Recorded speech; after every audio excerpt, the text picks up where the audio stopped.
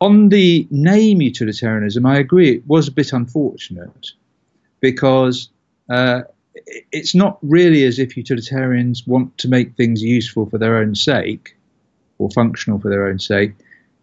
You know, the, the things that they're talking about are instrumental to something which is good in itself, which would be um, human happiness, which people are not so uh, ready to sneer at. So I think something like Henry Sidgwick's slightly longer phrase, universal benevolence, is a slightly better and more inf- informative uh, name than utilitarianism, but I think we are stuck with it.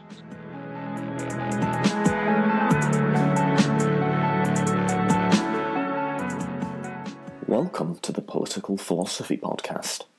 I'm Toby Buckle. Today I will be talking about utilitarianism with Professor Roger Crisp. Roger Crisp is a fellow and tutor in philosophy at St Anne's College in Oxford he currently holds the university post of Professor of Moral Philosophy and the Uehiro Fellow of Tutor in Philosophy.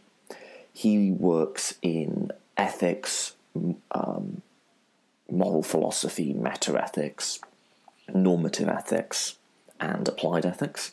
He's the author of multiple works in the field, including the Routledge Philosophy Guidebook to Mill on Utilitarianism, which is the subject of today's discussion, as well as virtue ethics, reasons and the good, and the Oxford Handbook to the History of Ethics. In our discussion, we talked about the history of utilitarianism from Bentham to Mill, and we also give you our own opinions about the foundations of ethical theories, and towards the end, we debate the usefulness of rule consequentialism. So, I really enjoyed this conversation. I certainly learned something from it. Professor Crisp was able to give me a distinction between two types of hedonism. I've always thought of myself as a hedonist, for better or for worse, uh, but Professor Crisp was able to make some distinctions there that helped me make sense of how I think about these things. I also think that for someone who is approaching this for the first time, we give a concise and accessible overview of the origins and history and main debates around utilitarianism. So, this is exactly the sort of conversation I'm hoping to bring you with this podcast. One that is reasonably concise and accessible, but hopefully also really educational and informative. So, I really enjoyed this conversation, and I hope you do too. So, without any further preamble, it is my absolute pleasure to bring you Professor Roger Crisp.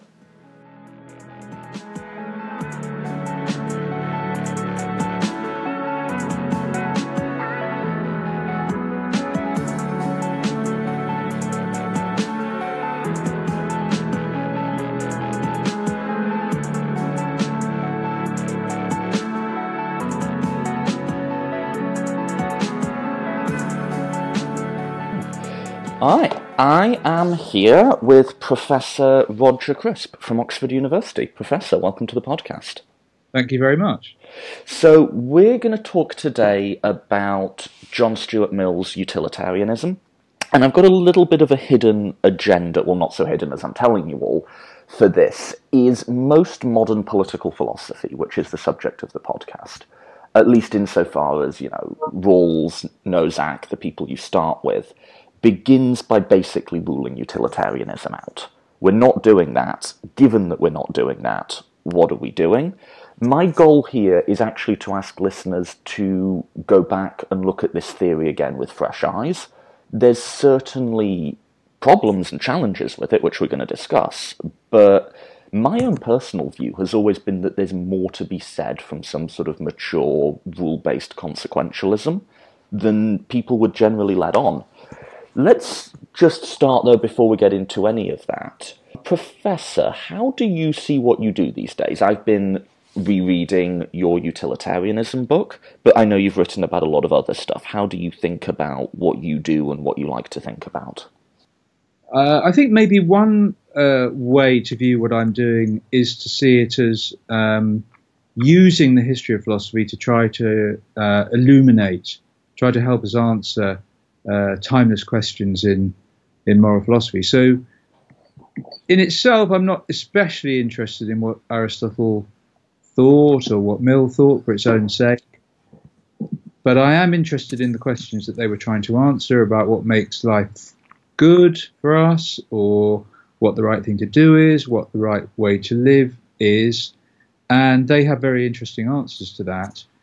Answers more interesting, probably, than I could come up with on my own. So I spend a lot of time reading philosophers of the past, but I, I don't forget the uh, the questions that, that that really motivate contemporary philosophy.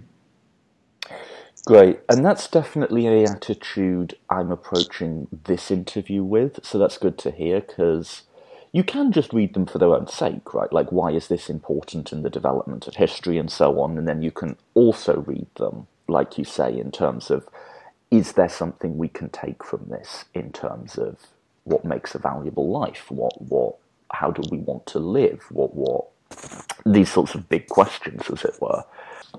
Let's jump in. Do you have a preliminary definition of utilitarianism to get us started with? Uh, I think there are really two components to standard utilitarianism. So, uh, first of all, we, we need to understand that it's what some people call a normative theory. That is, uh, it's a, a, theory which is action guiding, it's giving us norms about how we should act. And the two components are really these. One is a conception of, well, utility or well being or welfare, what it is that makes life good for people. And the second is a maximizing principle, which says that we should, in our actions, produce as much of that as possible. So there are obviously different forms of utilitarianism available depending on um, what the proponent thinks makes life good for people and what kind of maximizing principle they have in mind. But those, I think, would be the two main components of any utilitarian theory. And one other thing worth pointing out is that utilitarians think those are really the only things that matter utility right. and producing it. So that's why I think um, that's where I think most of the objections to utilitarianism come from, because people might say, well, you know, I quite like the idea of, you know, utility or happiness. Yes, I think there should be more of it, but I also care about justice, rights, virtue, lots of other things which utilitarians tend to forget about. So let's let's circle let's put a flag in that and i think towards the end of the, the, the interview we'll come back to this idea of utility and only utility for now though let's just start at the beginning of the chain which is bentham because just as a slight prelude to this i find most people have a slightly negative connotation in their head when they hear utilitarianism where if they're philosophically trained they tend to think something like what you just said, that this is excluding other things that we want to care about. But even in everyday parlance, if you say utilitarianism, it seems to evoke the functional over the beautiful. If you talk about utilitarian architecture, it, one imagines ugly, drab concrete buildings, right? And yeah. like I say, I'm sort of asking readers to maybe put that to one side for this um, but when people are imagining utilitarianism, at least those of you know who maybe haven't read every single utilitarian philosopher, they tend to be imagining Benthamite utilitarianism, which is sort of its original and one might say most reductive form. So who is who is Bentham and in short, what account does he give us of what utility is and why it's important? Well, I think there's a link between uh, what you described as the functional um, connotations that utilitarianism has, and uh, Bentham himself, because he was very concerned with making things more useful than they currently are. In particular, of course, the, the legal system. Right. But he was really concerned with anything at all that could make people uh, happier than they they now are. on the name utilitarianism, I agree it was a bit unfortunate because uh, it's not really as if utilitarians want to make things useful for their own sake or functional for their own sake. You know, the, the things that they're talking about are instrumental to something which is good in itself, which would be um, human happiness, which people are not so uh, ready to sneer at. So I think something like Henry Sidgwick's slightly longer phrase, universal benevolence, is a slightly better and more inf- informative uh, name than utilitarianism, but I think we are stuck with it. Um, Bentham was uh, uh, a polymath, a brilliant polymath uh, in the 18th uh, to 19th centuries. Um, he he was slightly eccentric. He spent most of his time speaking or writing. He, uh, when he wasn't writing himself, he had an amanuensis who would write for him. So the manuscripts consist of lots of little bits of paper uh, written by Bentham or the amanuensis on all sorts of topics, from politics to law to aesthetics to economics to history. Uh, he was a remarkable figure, but I think partly because he was so eccentric uh, and didn't really operate within any sort of normal academic environment.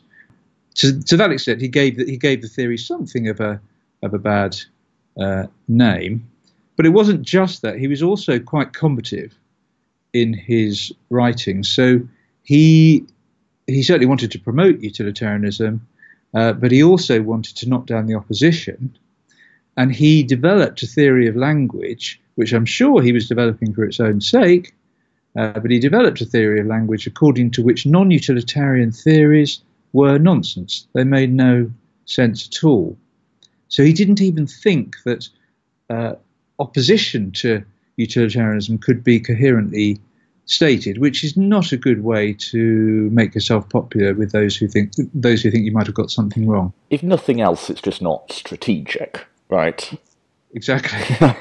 this is not as someone who's worked in politics for a little bit, this is this is not necessarily the best way to talk to win converts, right? No. He's one of these guys, you see them a bit through history, right, who are obviously brilliant, but then maybe because of their brilliance, quite detached from like normal people and social conventions. Or am I is that unfair to the guy? No, no, I think it's fair. And he he was also wealthy enough uh, not not not really to have to kowtow to anybody. I mean, he he he had a living, uh, and and essentially had a lifetime uh, research fellowship. So he could he could do what he wanted. He could say what he wanted. He could live pretty much however he wanted. So, I think when most people think of utilitarianism, what they're thinking about is Benthamite utilitarianism, and in some ways that's that's understandable because it's still in some ways some shadow of it is preserved in things like economics and rational choice theory and so on, right? And well, I mean, I was going to ask you, but I'll just give the summary. It's a very, it's a very basic theory, actually. It's like the good is happiness, the bad is suffering. Both of these can be mapped onto and measured on a single scale, essentially, we want more of this rather than less of this, and we should act so as always to get more happiness and always to get less suffering. And any other concern can essentially be reduced to happiness or suffering, or isn't important. Did I oversimplify? Because, or is uh, I would say only very slightly, and I'm sure Bentham himself would have said uh, what you said was absolutely fine. Uh, I think the slightly misleading thing is uh, the claim that pleasure and pain are measured on a single scale. Okay. Though, though I mean, Bentham himself would have said that they they are, but it's uh, it's a bit different with pleasure and pain than, for example, with uh, a measurement scale. So in a measurement scale, you start at zero and you go up. So you might go up by centimeters. Right. Uh, and it's clearly a cardinal scale. Each unit is the same as, as any other unit and so on. But pleasure and pain are two different sensations. So you can't really have a single scale until you plot the value of a certain amount of pleasure against the value of a certain amount of pain. So there is a certain judgment there to get the whole thing uh, the whole thing going. It's not really as if you've got units of the same thing the whole way along. But but Bentham, I mean, correct me if I'm wrong. It's a while since I read the guy, but Bentham seemed to think there was right. Like he had he he he really thought it was just you could map this down to a single unit, and then obviously later utilitarianism, later utilitarians disagreed with him, probably correctly so, but he really did think it was just you you really could just start adding this up like calculus, right? Yeah, no, I think that's right. But he, he sort of he didn't emphasize the fact that you had to make a judgment about how much pleasure was counterbalanced by uh, how much pain to give you zero, right?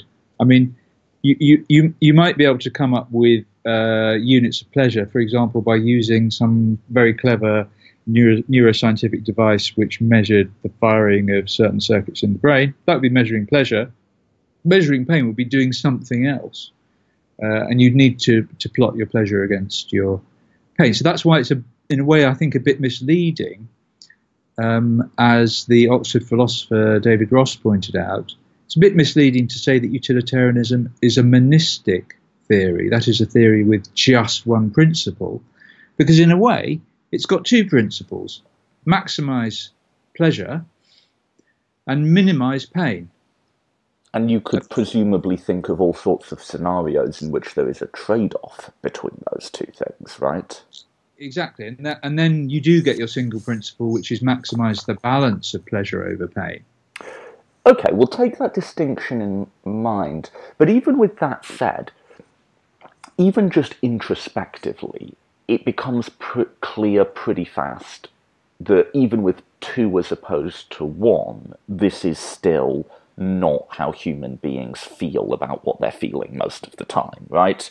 And you've got. I wanted to invite you if, if you've got a, a, another one you'd rather do, but there's all sorts of thought experiments.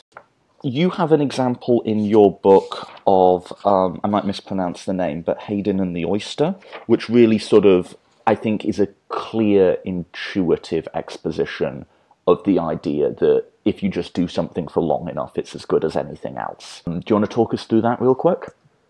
Yeah, so this is uh, an example. It's a, a rather uh, peculiar uh, philosophical example. You have to imagine that you're uh, a soul mm-hmm. and you haven't yet lived. You're about to, to live a life on Earth and you're queuing up with all the other souls. And the angel in charge of dishing out the lives says, Well, I'm afraid we've got only two left. We've got the life of uh, a composer called Joseph Haydn, and he will compose some wonderful music. He'll be very popular in his own lifetime. He'll be celebrated in his own lifetime. He'll have friends. He'll have hobbies. Generally, rather enjoyable kind of life. But then, of course, he'll he'll die. Um, then we have uh, the life of an oyster, which will be pleasant, but the pleasure will be very faint, not very intense. And there won't be any pain. It'll be a bit like being very drunk in a in a warm bath, and you say, "Well, I'll have um, I'll have Haydn, please." And the angel, look, I've been trying to get rid of this um, oyster life for ages, so I'm going to make you a special offer. I'll make it as long as you like. You, it could be a million years long. I think many people would say, I don't really care how long you make it. I'm going to have the life of Haydn because that's better. The quality of the pleasures in that life uh, makes it higher than, than the life of the oyster, however long we make the life of the oyster. So, in other words, it's not just the um, the the uh, the mere quantity of pleasure; it's its quality, it's where it comes from. Right, and so Mill so, introducing our next philosopher down the line, Bentham is the originator. Mill is. He knows Bentham, that he's sort of a family acquaintance, but he goes on, and certainly as he matures as a writer, um, develops an account of utilitarianism that retains the sort of core impetus of Bentham, but uh, nuances it, might we say, or, or, or develops it so as to get beyond some of these these objections, like the one you just gave. And what he does is he essentially says, there are category differences in pleasure. So, like, there's some things that are going on in Haydn's life that are so valuable that really any amount of the what he would call lower pleasures of the oyster, really an in, even an infinite amount of them, don't amount to the goodness of these higher pleasures. Let me just turn that back to you if I got that right, and anything you'd want to add to it. Yeah, I think th- that's a, a, very good summary. I think Mill was really taking ideas from uh, the ancient philosophy of, of Plato and uh, Aristotle here. So, towards the end of Plato's Republic, he addresses the question whether the pleasures in the philosophical life are better than the uh, the pleasures in the non-philosophical life. And unsurprisingly, he concludes uh, that they are. He also, Plato also uses the idea that uh, if you, if you, you know, if you want to ask somebody about it, you should ask a philosopher because the philosopher knows what it's like to experience philosophical pleasures, and they know what it's like to experience the the the lower um, animal pleasures as well. And Mill really takes that idea and uh, tries to make it a bit more precise. And I think there are really two aspects to his higher uh, his higher lower distinction. One is that he begins by sort of broadly characterizing the types of pleasures that fall into either category. So the higher pleasures will be, for example, um, aesthetic pleasures like reading poetry or uh, listening to some great piece of music, or moral pleasures, or intellectual pleasures more generally, the mental pleasures, you might say. And then on the other side, you have the bodily pleasures, the, the pleasures of you know, eating, drinking, sex, that kind of thing. The kinds of things that animals do, the physical pleasures. So you've got, as it were, the higher human pleasures and the lower animal pleasures. Now that seems to be absolutely fine. And Mill also says that even if you think there's no theoretical distinction between the two, so you like Bentham and you're just thinking there's a single unit of pleasure, uh, the the the mental activities will give you more of that, right? So uh, an evening spent in the library reading Hegel will actually end up being more pleasant than uh, an evening down the pub with your friends because you won't have a hangover the next day. But he also thought that uh, these higher pleasures are such that once they're in place, they can't be counterbalanced by any amount of the the lower pleasures, which really completely blocks the the objection that utilitarianism is the philosophy of swine. Because it doesn't matter how many pig pleasures you have, they won't counterbalance the pleasures of Socrates. Right. So here's here's my opinion on this: is th- this introducing of you've got your higher pleasures and you've got your lower pleasures, it gets utilitarianism off the hook, as it were, with a lot of the most common charges against it. But I also feel like it's just something we should want to say anyway, as regards to what is intuitively true and what we just know about how we experience the world. So, let me give this is slightly different to Mill's account. I'm just talking about how I see it, and then I want to get you to say if you think I'm barking up the wrong tree or not. But the way I see it is we know we experience things. It's, I mean, pretty much like I think, therefore I am, right? We know we have conscious experiences of the world, and moving a little bit on from Descartes, we know that they're different in kind and nature and in desirability, essentially, if we can use a normative word like that. And then we also know or not know, but it seems obvious just thinking about the things that I like experiencing, the things that I don't like experiencing, that it's going to be really hard to get any clear metric between the two. I think in Bentham's head, you know, pushpin equals 12 units of poetry, or, you know, X units of poetry, or whatever it is, and there's just a sliding scale. Whereas you know, if you were to say what's better, a great chess game or the best sex you've ever had in your life, you, you, you laugh because it's a silly question, right? And it's a silly question because there isn't an immediately obvious unit of exchange between knight to king 4 and sex. Like, there's just not a. These are quite distinct things. And there's not going to be a single measurement there's maybe even you know, it's maybe even more complex than Mill thinks. There's maybe multiple layers of these things, or there's just not obvious units of analysis between them, because that's just how these things are. And if that seems too complex, that's just how we think about anything else that we desire. So even something like medical health, there's no obvious unit between life expectancy and not throwing up. You'd, you'd be buggered to put a number on it, right? But both are obviously desirable and we obviously desire more of them rather than less. It's just that it doesn't reduce down to a single or even a couple of measurements. And surely utility, well being, flourishing, whatever you want to call it, is a bit like that. It's a cluster of different values that don't map down to a single thing and don't always admit of easy trade offs between them.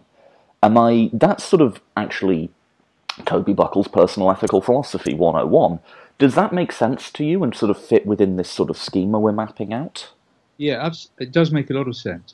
One thing I would say to start with is that um, the the criticism to which Mill is responding, which was made by people like Carlyle and had been around for thousands of years, that uh, this kind of view is the philosophy of swine, as Carlyle put it, is it's an objection to Mill's conception of happiness right?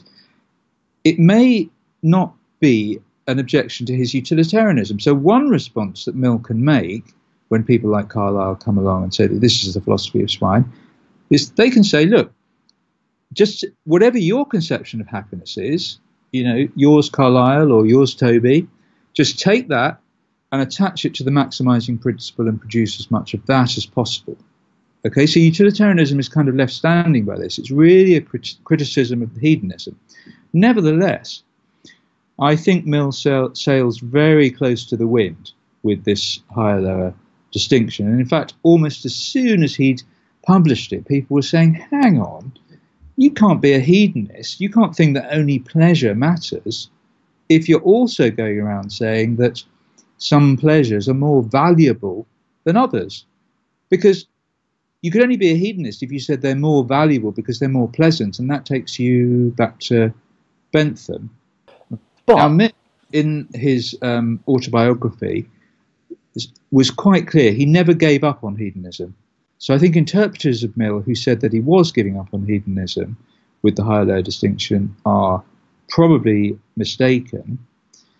Nor is it an incoherent view that he's giving us, giving us, but it is peculiar what he's committed to is the idea that if an experience has something like nobility, which is one of the terms that he uses, that makes it more pleasant.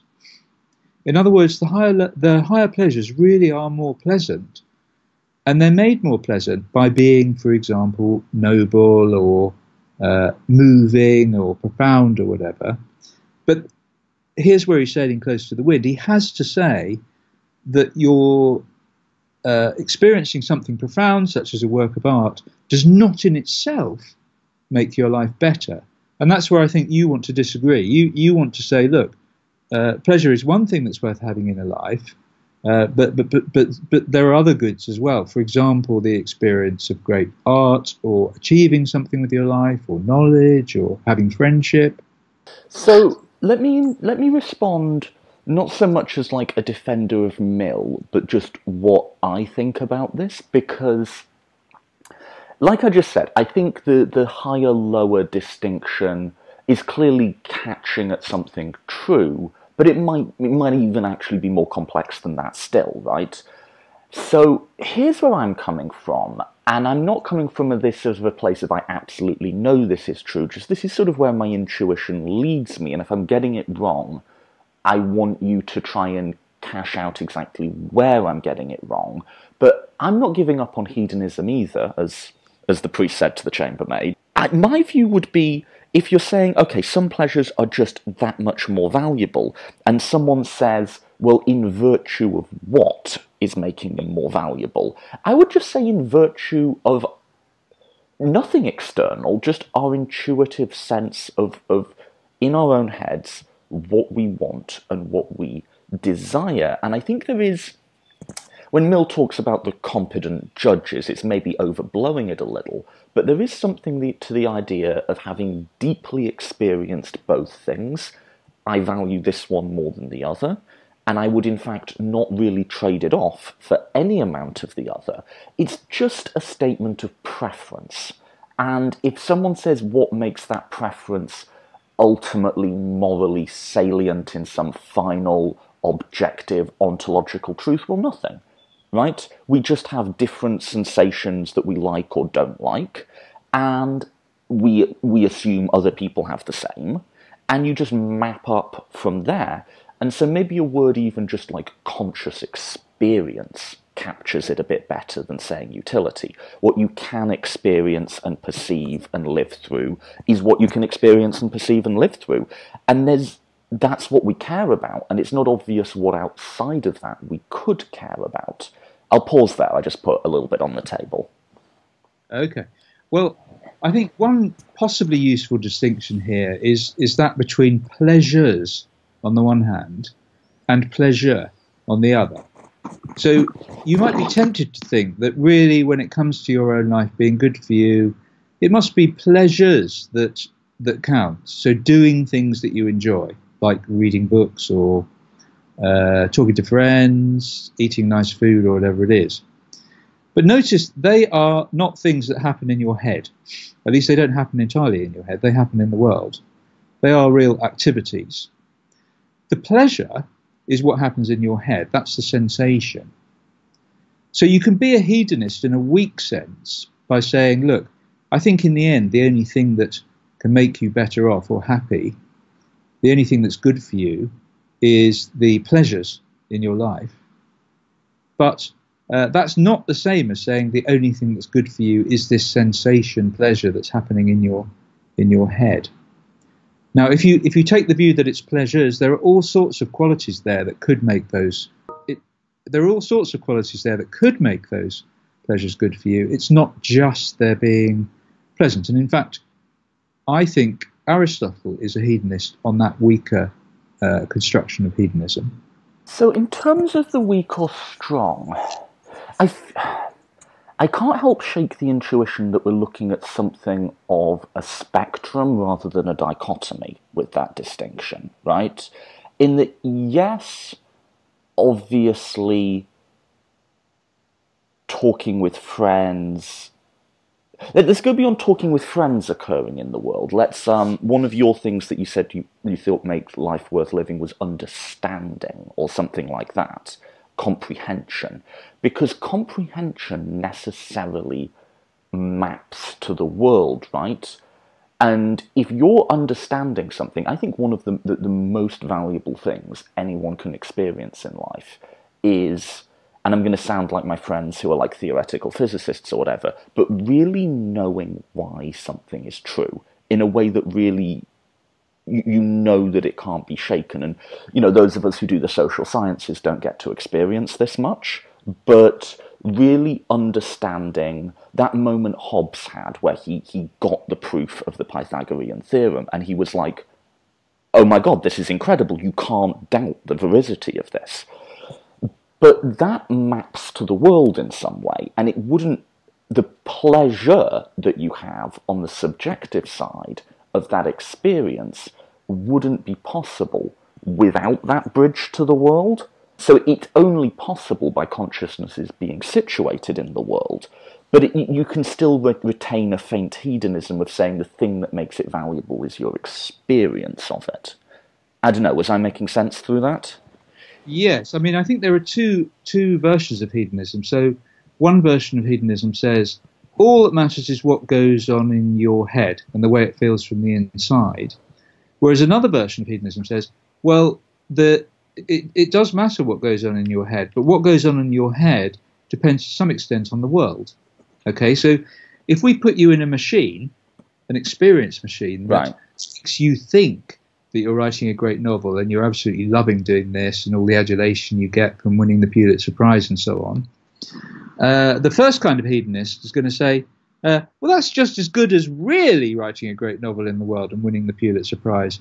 Whereas the second kind is going to say, well, no, the, the, the pleasure of uh, thinking you're writing a great novel is different from the pleasure of writing a great novel. So there is a way there through, um, as it were, philosophy of mind and how we describe mental states, how we how we uh, uh, individuate them, for hedonists to respond to some extent to uh, the objection that, that, that they would advocate plugging into an experience machine. So I'm just going to jump off the deep end here, and my intuition is telling me that what I'm about to say is wrong, but what if the experience machine was no different? What if it just felt intuitively different? Because we, we, we don't like the idea of an experience machine because we don't like the idea of waking up from one and realizing that our whole life was a lie, right? That hmm. sensation would certainly be undesirable. But we could be in an experience machine right now. This could be a simulation, right? And if you went your whole life not knowing that it was, and that was identical in some way to some other life.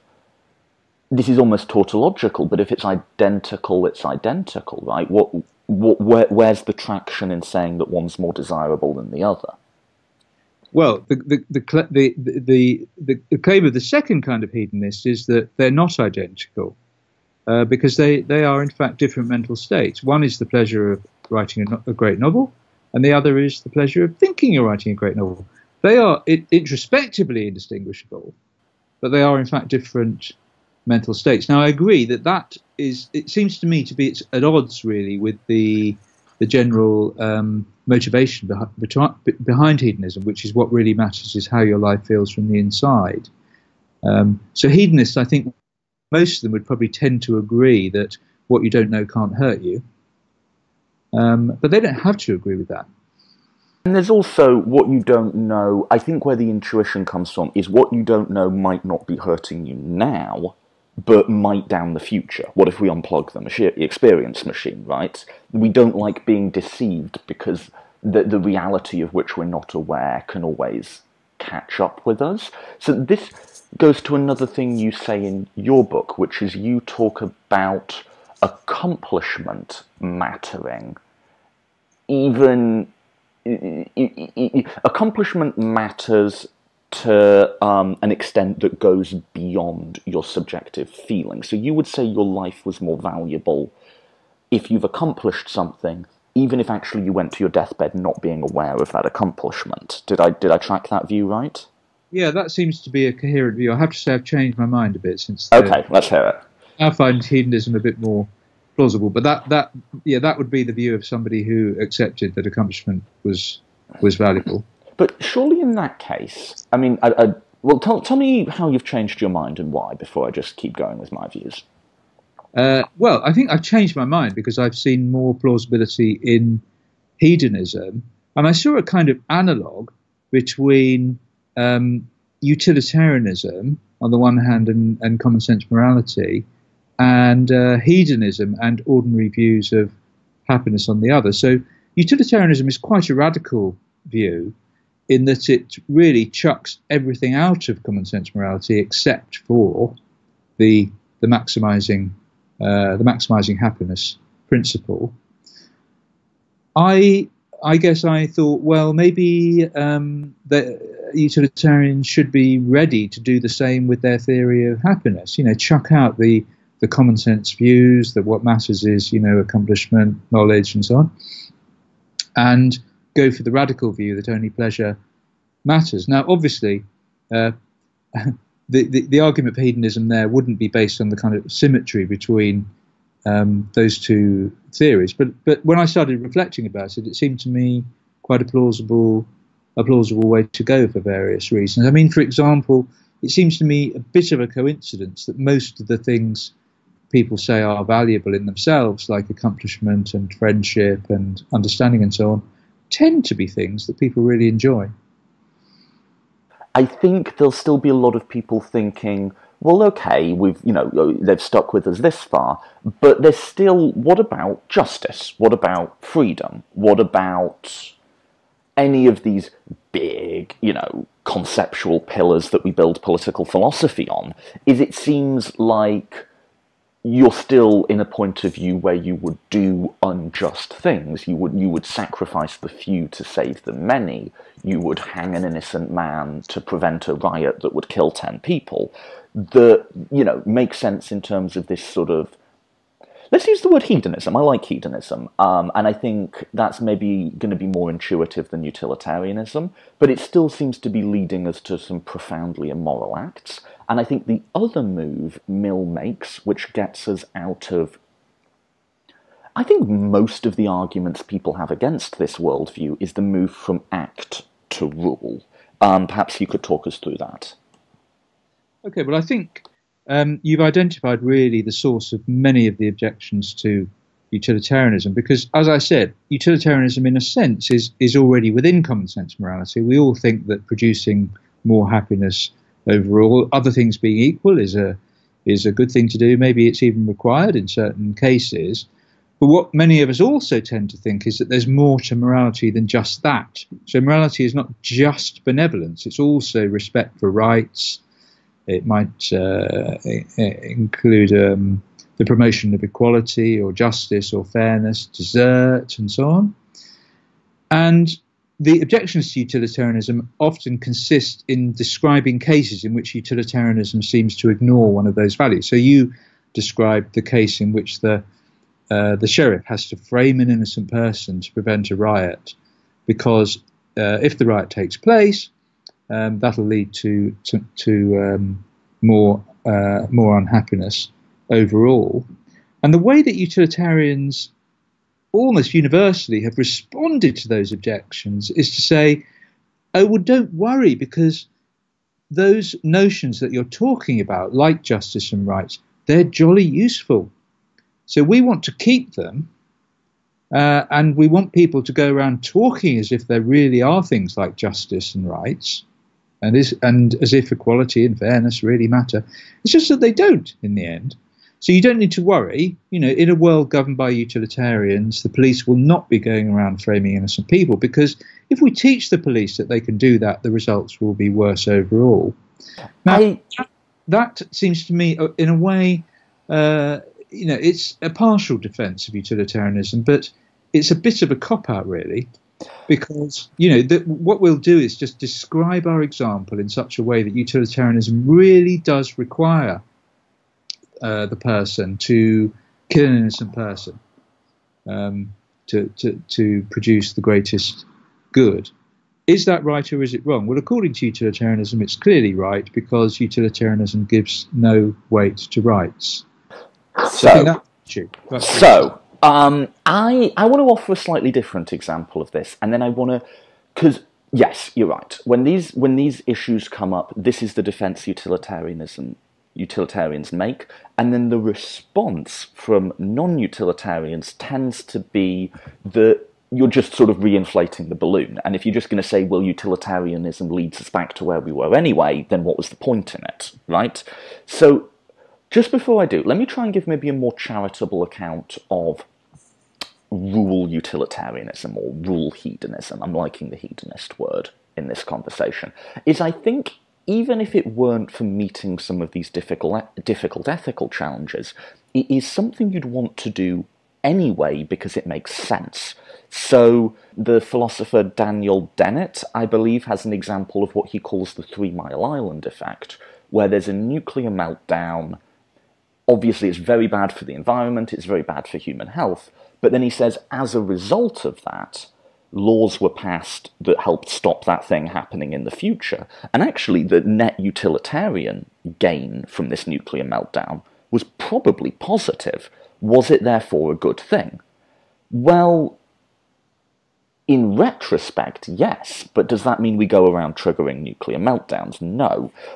And I think what you have to face with utilitarianism is the huge degree of built in uncertainty at every level. We know we find things more desirable, but exactly what and exactly how we describe it is really complex and is really difficult to make any traction in.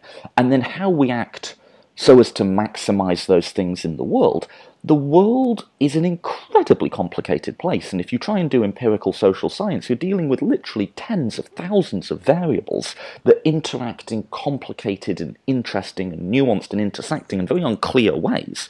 And so, if you're going to say, my starting point is we know we exist, we know we have experiences, and we know some of them are more valuable than others. But if we want to act so as to really get the most of those experiences, we're never going to get anywhere trying to calculate the the consequences of any individual act. The best we can hope for is to rule some obvious things out. We know ritualistically torturing and killing every second born child would, on the whole, lead to less happiness. I think we can make that assumption. We, we can start ruling out, I think, things like torture. I think we can start ruling out things like arbitrarily killing people. And even if, yes, there will be individual instances where it might maximize utility, your best bet is to just get some sort of framework for society where we say these are some minimum standards that are going to keep us away from the worst of it. And you might call that rights, you might call it rule utilitarianism, you might call it whatever. But I think it's a move you'd want to make anyway, because we just don't have the information about the world to to, to, to know in any individual instance what the, the, the, maximizing course of action will be. I've talked for a bit, but just really quick to the to the to the point people make about utilitarians are just going and if you say, well, you know, what about this case, what about that, we're just coming in and redefending it. No. I think trying to go from the ground up and grow from desirable experiences to the rules that will promote them will reinflate a lot of our current morality, but it won't reinflate all of it. So it will reinflate a lot of basic human rights. I think there's a good utilitarian defense against things like torture, for instance. It won't reinflate desert. I think. I think the idea that, you know, bad people deserve bad things and good people deserve good things, on closer inspection sort of collapses in a utilitarian worldview. And maybe it's a good thing that it collapses, but if it doesn't, I think actually utilitarianism is a great tool to go through and look at the rules that we have and say, can you get there from desirable experiences alone? And if you can't, what else are you adding to the mix and why is it there and how do you justify it? I've talked for a bit. I'd love your response on all of Okay. Well, you're not as pessimistic about uh, predicting the future as, as some people. So some people say we are completely clueless about the consequences of our actions. So some people will hook up uh, claims, for example, from chaos theory, to say uh, it could be that my lifting up my pen, which I'm now doing, is just about the worst action that anybody's ever done because it'll bring about a million Holocaust equivalents a couple of centuries from now. So anything we do could have the most terrible consequences. It could have the most wonderful consequences. We haven't got a clue. I agree with you. That view doesn't look very plausible because we just kind of know that um, uh, lifting up a pen now um, is likely to have better consequences than my hitting you uh, over the head with a broken with a broken bottle. But I still think you were a bit too pessimistic because, um, I mean, you concentrated on on um, negative things, harming harming people. I think it's also pretty clear that helping certain people in certain ways is likely to make the world better. So, if you, for example, if you consider a charity like Sightsavers, which rather uh, efficiently and effectively um, uh, enables many people to see who would not otherwise be able to see and prevents a huge amount of suffering. I just think it's a bit um, implausible that uh, giving money to Sightsavers isn't a worthwhile activity, so you might as well spend it on, you know, your uh, your CD. No, I think I think that would map up from the sort of considerations we're talking about. And no, I mean, look, I've spent most of the last ten years working in non-profit development, so I I, I ought to believe that, right? I, I go for the negative cases. I think they're the most clear. I'll put it that way. I think anyone who doubts that actions have consequences and really wants to go down the Jurassic Park chaos theory road is invited to put their hand on a hot stove. Like, you know, like there's just a level of common sense we've got to bring in here, right? Yeah, yeah. So yes, I mean, I'd, also, yeah. I'd also point out, I think that this problem about predict, predicting the future, it is a big problem for utilitarians, of course, but because the utilitarian principle, the idea of universal benevolence, is a very sensible principle which all rational people should accept, it's a problem for everybody. We we all think there's a case for making the world better, or we should think that. Right, and this is the thing, is I think people level challenges against I'm actually going to start using the word hedonism because I think that has a different connotation in people's mind. But people level challenges against that that any other theory of morality would be equally unable to meet. So yes, we don't understand a lot about the world. We understand some things, but there's a, there's a huge amount of uncertainty, and the further forward you project, the greater that uncertainty gets. Sure, but that's that is a fact about epistemology that any theory will have to contend with. Right? There's there's no starting point that changes that. Does that make sense? I completely agree. And um, I mean, I would mention, for example, um, uh, centres like the um, Centre for Effective Altruism or the Global Priorities Institute or the Future of Humanities, uh, Future of uh, Humanity Institute, all of them happen to be here in Oxford. There are people doing a lot of work there to show that actually um, there's more, a lot more that can be done to make predictions about the way the future might go and the, the way that we might improve the world. Let me just, we, we, we're coming up on time, but I want to just get back to this idea of what I see as the ethical value of utilitarianism isn't taking a set of rules of justice, freedom, fairness, whatever we might say, and saying, okay, well, we agree that this is the rule, how do we use utilitarianism to get there? I would say the ethical value is looking at the rules we have and saying, will utilitarianism get us there?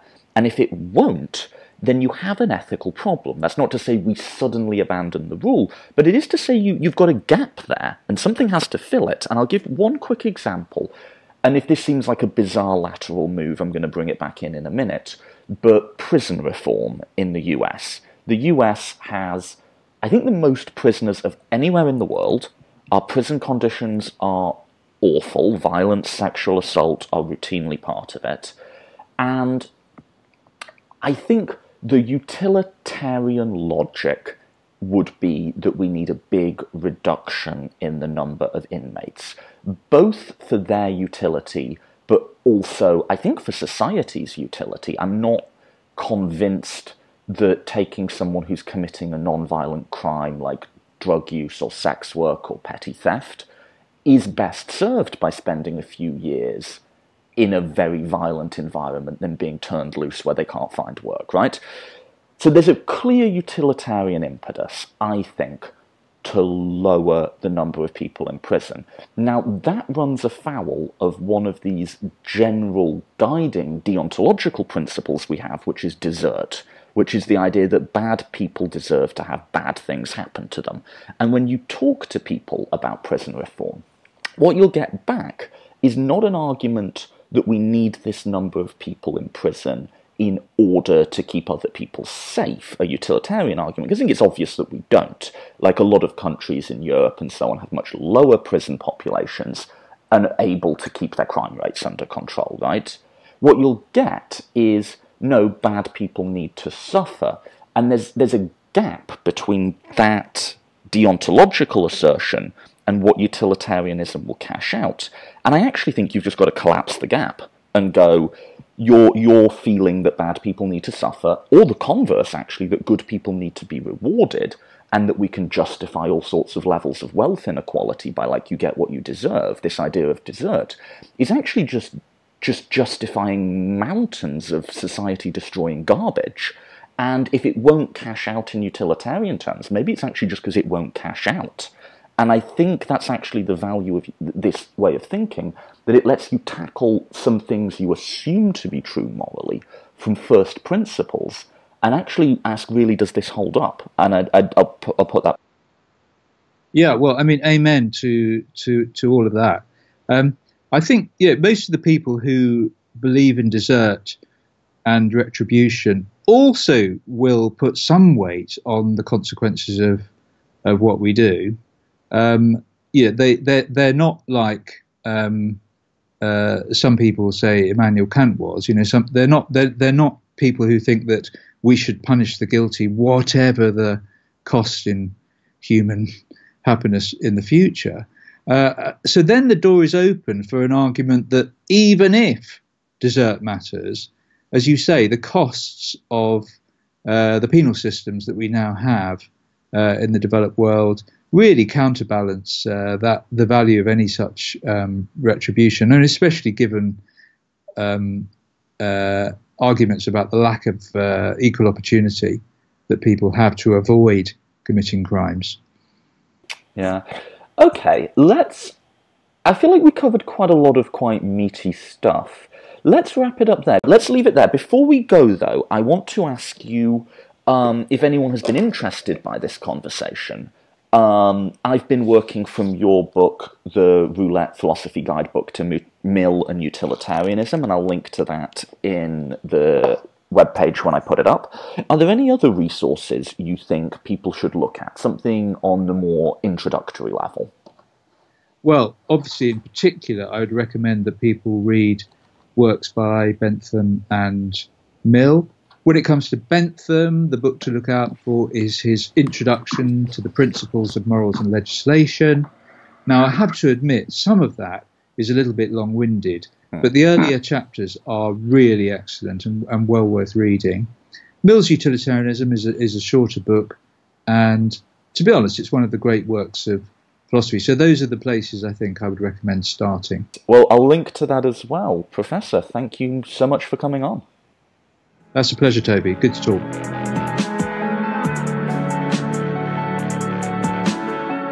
Thank you for listening to the Political Philosophy Podcast.